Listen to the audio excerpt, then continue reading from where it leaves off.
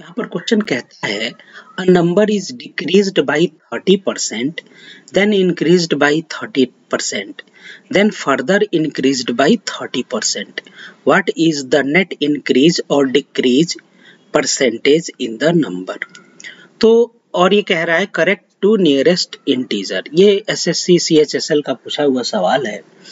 इसमें देखिए, सबसे पहले आपसे मैं एक बात कहूँ कि ये एक तो परसेंटेज का सवाल है और ये सक्सेसिव इंक्रीज डिक्रीज का सवाल है। तो इसको करने के दो मेथड हैं। एक तो फॉर्मूला मेथड मेथड है। दूसरा सिंपल जो जनरल मेथड मेथड होता है बेसिक मेथड तो पहले हम बेसिक मेथड मेथड से देखते हैं, फिर उसके बाद फॉर्मूला मेथड को देखेंगे। हमने मान लिया कि वो नंबर हंड्रेड था। तो पहली बार में क्या है? तीस परसेंट से डिक्रीज कर दिया गया है। उस नंबर को। तो कोई नंबर है हंड्रेड और उसको तीस परसेंट से डिक्रीज किया गया है तो वो नंबर कितना हो जाएगा? तो वो hundred number it's number multiplied by कितना परसेंट से हम यहाँ पे मल्टीप्लाई करेंगे? तो इसको हम क्या करते हैं? जितने से हम डिक्रीज किया हंड्रेड माइनस थर्टी परसेंट से डिक्रीज किया hundred minus thirty upon one इससे मल्टीप्लाई कर देंगे। तो ये क्या हो जाएगा? हंड्रेड से हंड्रेड कैंसिल हो जाएगा, ये सेवेंटी आएगा। तो तीस परसेंट डिक्रीज करने के बाद वो नंबर सेवेंटी रह गया। अब कहता है then increase by thirty percent तो सेकेंड टाइम थर्टी परसेंट से इंक्रीज किया गया है तो वो नंबर कितना हो गया था? फ़र्स्ट टाइम तीस परसेंट डिक्रीज करने के बाद first time thirty percent decrease करने के बाद वो सेवेंटी हो गया था। तो सेवेंटी मल्टीप्लाइड बाई तीस परसेंट से इंक्रीज किया जा रहा है नंबर को, यानी एक सौ तीस अपॉन हंड्रेड इसी से तो मल्टीप्लाई करेंगे, तब जाके वो नेट नंबर निकलेगा, कितना हुआ? तो एक सौ तीस अपॉन हंड्रेड से मल्टीप्लाई करेंगे तो ये क्या आएगा? ये एक ज़ीरो से ये एक ज़ीरो इधर का कटेगा, एक ज़ीरो ये कटेगा 130 ये होगा तो 13 बच जाएगा, ये 7 7 इंटू थर्टीन नाइन्टी वो नंबर 91 हो गया। अब फिर कह रहा है कि थर्ड टाइम जो है, वो क्या है? इंक्रीज बाई थर्टी परसेंट अब तीसरी बार भी क्या किया जा रहा है? तीस परसेंट से इंक्रीज किया जा रहा है।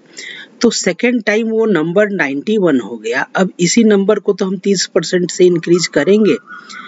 यानी इसका मतलब हुआ 91 वन मल्टीप्लाइड बाई एक अपॉन हंड्रेड ठीक है? ये कितना हो जाएगा? 91 ये 130 को 100 से डिवाइड करेंगे तो 1.3 आएगा। मल्टीप्लाई करेंगे तो 100 118.3 आएगा।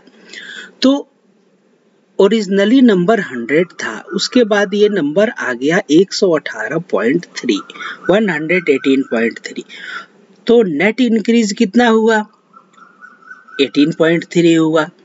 तो इसका परसेंटेज क्या होगा? तो चूँकि ये 100 में हम देख रहे हैं तो 18.3 परसेंट होगा। या फिर परसेंटेज निकालना है तो वो number divided by 100 multiplied by 100 या ओरिजिनल, वो नंबर जो इंक्रीज हुआ है, वो divided by original number multiplied by 100 इससे क्या है? परसेंटेज आता है। यानी 18.3 परसेंट अब हम ऑप्शन देखेंगे। तो ऑप्शन में आ रहा है 18 percent increase 18 percent decrease 19 percent increase 19 percent 19 percent decrease 19 percent increase और कहता है करेक्ट टू नियरेस्ट इंटीजर तो नियरेस्ट इंटीजर यानी 18 परसेंट तो ऑप्शन कौन सा करेक्ट होगा? ए ऑप्शन इज़ करेक्ट अब हम क्या करेंगे? फॉर्मूला मेथड से करेंगे। फॉर्मूला मेथड मेथड देखिए, अगर आपको याद है फॉर्मूला तब तो ठीक है। वो फटाफट लगाइए आंसर निकालिए। तो यहाँ पर क्या होता है? कुछ चीज़ों का ध्यान रखना होता है। जैसे अगर ए परसेंट शुरुआत में ए परसेंट इनक्रीज किया और बी परसेंट हमने क्या किया? डिक्रीज कर दिया या ए परसेंट डिक्रीज किया। तो ए परसेंट अगर हम डिक्रीज करते हैं तो ए को यहाँ ए का साइन माइनस होगा। और बी परसेंट अगर हम डिक्रीज इंक्रीज करते हैं तो प्लस हो जाएगा।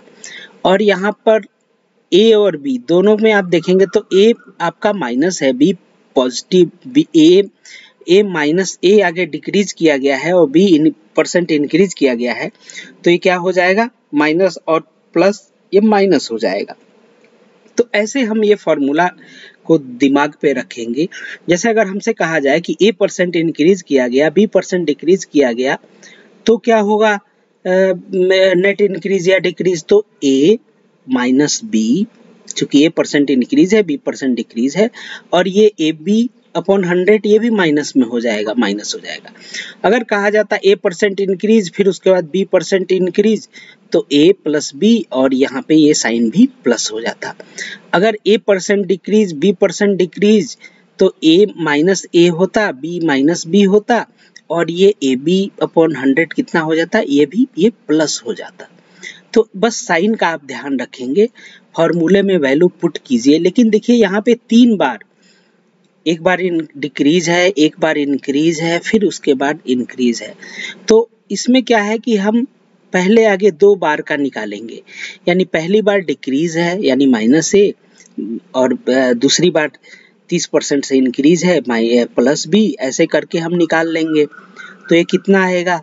माइनस थर्टी प्लस थर्टी और ये माइनस हो जाएगा माइनस ये ए बी है तो thirty into thirty upon hundred इसको हम सॉल्व करेंगे। ये कैंसिल आउट हो जाएँगे और ये दोनों कैंसिल होंगे। ज़ीरो ज़ीरो और तीन तिरके नौ माइनस नाइन परसेंट अब ये माइनस नाइन परसेंट क्या है? ये डिक्रीज शो कर रहा है। ये क्या है? डिक्रीज शो कर रहा है। यानी फॉर डिक्रीज इन अब अगली बार फिर फॉर्मूला लगाएँगे।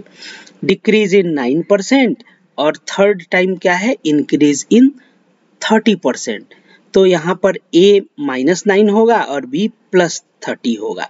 तो minus nine plus thirty minus nine into thirty upon hundred अब ये परसेंटेज कितना आएगा? ये तीस में से नौ गया इक्कीस और ये क्या हो जाएगा? नौ तरीके सत्ताईस ये टू पॉइंट सेवन हो जाएगा। 2.7 अब इस, सब्सट्रैक्ट करेंगे तो 18.3 परसेंट आएगा। हमारा आंसर क्या हो जाएगा? 18 परसेंट। तो आप plus negative positive negative sign का ध्यान रखेंगे। पहली बार निकाल लेंगे सक्सेसिव से। ए और ए इस फॉर्मूले से फिर जो नेट इंक्रीज और डिक्रीज आ रहा है, अगर इंक्रीज पॉजिटिव आता तो पॉजिटिव और जो थर्ड वाला इंक्रीज और डिक्रीज है उसको लेकर के फिर फॉर्मूले में बिठा के इसको, इसका हम आंसर निकालते हैं। यही इसका एक, यही फॉर्मूला मेथड होता है। उम्मीद है आपको ये फॉर्मूला मेथड मेथड समझ में आ गया होगा। चलिए अब हम दूसरे क्वेश्चन को देखते हैं।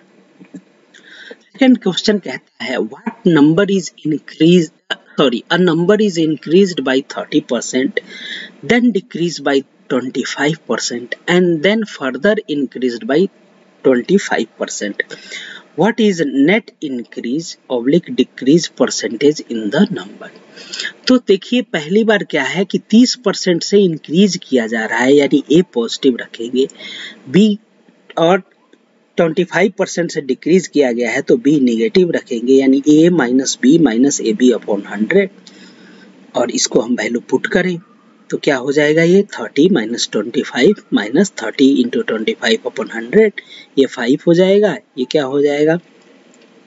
पचहत्तर सात सौ पचास होगा जी, ज़ीरो से ज़ीरो कैंसिल आउट होगा ये आपका आएगा twenty minus thirty upon four minus ten upon four यानी ये क्या शो कर रहा है? डिक्रीज शो कर रहा है माइनस टू पॉइंट फाइव अब ये minus two point five decrease ये ए हो गया।